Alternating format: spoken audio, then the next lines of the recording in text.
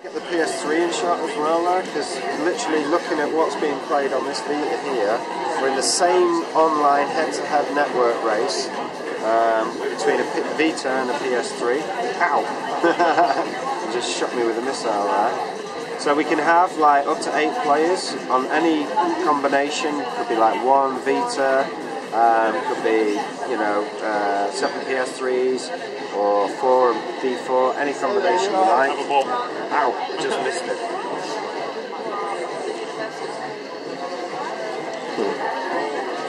Uh, yeah, so we can link up the two platforms together, and this is just kind of like looking at the, the comparison between drawing. Obviously, this is a Wipeout HD Fury track, um, and we're drawing pretty much the same data on the PS Vita itself, just to show you really how powerful it is. So,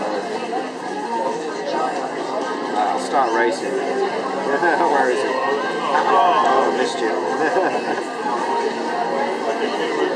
Right, and then we'll show you some of the uh, 10 exclusive new tracks that we're doing for Wipeout 2048. So this is just one feature of the game, where we're going to link up the kind of two platforms together.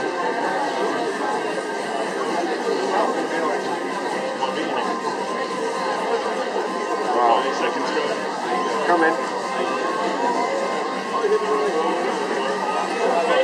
I'm way behind it. You're ahead. Am I? Oh, yes, I am.